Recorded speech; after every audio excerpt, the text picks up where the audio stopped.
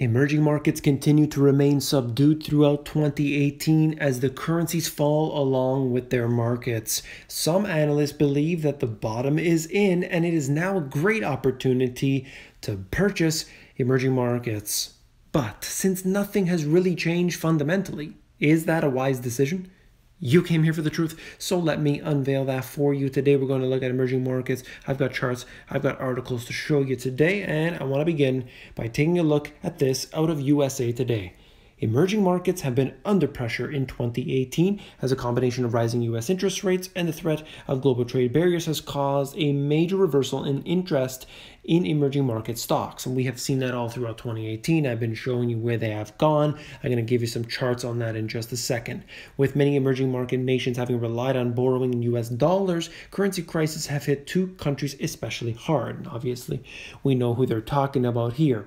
But this is important to know because you can have internal struggles, but you can also have external factors too. So that's some points that I wanted to make today, and we'll get into that further. But always remember is this an issue internally in the country, or does it spill out, or is it really a factor from outside causing the problems within? Okay, I'll show you this chart right now. Currency and bond yield change year to date. So we need to think where it's gone in 2018, but also over the last, let's say, year, over the last two years, and so on. So if you look at the left-hand side, that's the country name. On the right-hand side, that's the currency value. And you can see Argentina over 50% decrease right now Brazil 20%, Turkey 40%, and so on. We could see that these markets have all been hurt, whether we look at the currencies, whether we look at the markets themselves, the stock markets, and so on. You can see that these countries have relied on everything running smoothly. But of course, that doesn't happen. And it is a matter of fact that things have really changed here throughout 2018. It has been very different in 2018 rather than, let's say, post financial crisis. Everything has really fallen apart, and that is definitely present right now in emerging markets. Stock markets in both Turkey and Argentina have seen losses of more than 50% this year as their central banks have had to boost interest rates dramatically to try and stem capital flight from their borders. We saw Argentina bringing up interest rates to 40%, and it was seen as something so crazy. And then it didn't take long for everything to continue to go on. We saw the weakness that was persisting there for quite some time, and the money was leaving. And what did they do? bring interest rates up to 60%, and it didn't solve anything. The IMF came in with a bailout of $50 billion, the biggest IMF bailout ever, and what? It continued. You cannot stop it by using central banks to get in their monetary injections and be able to fulfill all these promises that they've made. It's impossible, and yet we still do so every single day. Now, this is a problem that we've had not just with Brazil and Argentina and Turkey and so on. This has been going on for quite some time. I'm showing you this right here. It's just a couple examples, and it's just because it's currently oh, uh, you know happening and that is with these particular nations. But we're going to see it in the future. We've seen it in the past. And i want you to know that central banks have the inability to fix anything. They'll never fix anything and it's just a matter of fact. Looking at this, returns on selected countries' ETFs rank by year to date return. The country on the left hand side, right hand side, the very right hand side, we're looking at the year to date. And this has been, you know, based on their ETFs, it has been dismal performance, you know, and whether we're looking at Russia at the top of the list, and we can scroll down just to give you an example of a few of these. Even the UK has been doing poorly here year to date and Italy not looking so good. But remember, we're looking at it on a shorter term, we're looking at it on a longer term as well. Just basically, ever since the VIX really fell apart, the whole trade there, the speculators, ever since then, nothing has really made sense. And you can just basically scroll through if you're interested in seeing other countries and unfortunately how much they've suffered. Look at Turkey, for example, down 49%. I mean, it's significant no matter how you look at it largest 10, the largest uh, top 10 of the largest EM, that's emerging markets, current account deficits. Remember, this is priced in US dollar, all right? Now, looking at India, they have 66 billion. Very significant numbers here. We're seeing Turkey, we're seeing Brazil, Argentina, all the usual players are at the top of the list. And this is a very big problem, not just when it's priced in US dollar, but also when it's coming from inside. And we have a big problem whenever we look at any type of deficit or debt. I basically pool them all together, although some people like to factor in if it's coming from outside or inside, you know, it's a different story. If we quote owe it to ourselves, then it's not a problem. But if we owe another country, then it is a problem. But really, if a country really wanted to, they could just print all the money and give them confetti. But that's not really what happens all the time. All of these countries now today have been printing money in order to you know, chase each other spiraling down into this devaluation that seems to be persistent everywhere globally.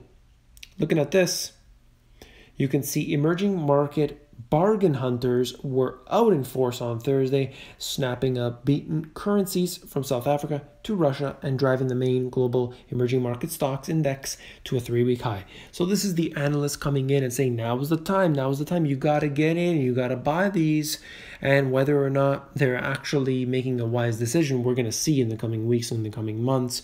But this is what's been happening. And then all of these investors are coming in, rushing in, buying them up. Why? Because they're cheap. If they're not able to get the return that they desire in, let's say, US treasuries, for example, well, they're going to go to emerging markets and they're going to get much, much higher returns. Think about it right now in somewhere like Argentina, somewhere like Brazil, even, or any of these other countries that have been suffering right now. Well, their yields are going to be pretty, pretty good, that's for sure. The question is, will they remain solvent? Emerging market returns year to date on the left hand side, that's the S&P 500 in green and comparing that to the emerging markets, whether we're looking at Turkey, Argentina, China, South Africa, and Brazil, we are seeing anywhere between 20 plus percent all the way up past 50 percent into the negatives. These countries are not doing well. I mean, even if they do come a 5, 10 percent, we're still looking at significant drops, and that's for the currency, that's for the markets as well.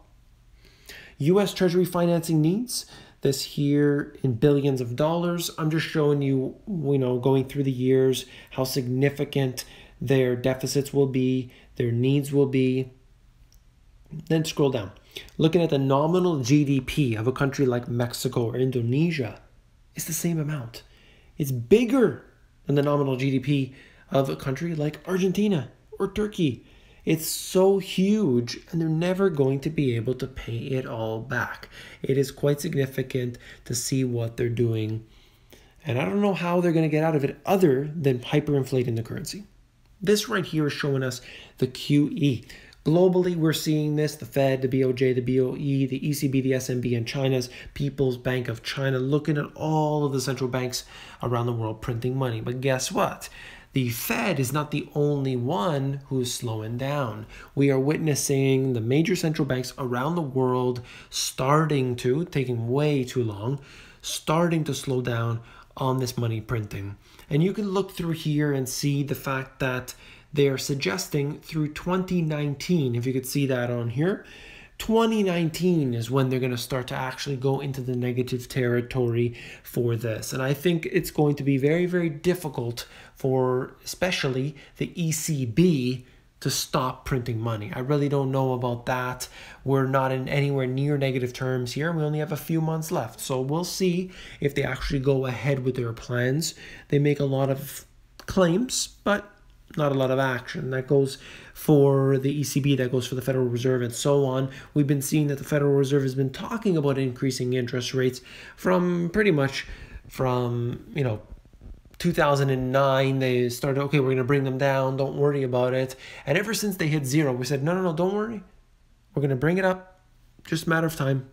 Hang in there. It wasn't until december 2015 if my memory serves correctly that they brought it up a quarter of a percent I mean, it's a joke. It's a joke. So we're going to see what happens. All of these markets have been running on quantitative easing. How they're ever going to implement the policy of quantitative tightening without collapsing the markets, I don't know. So we'll see about that.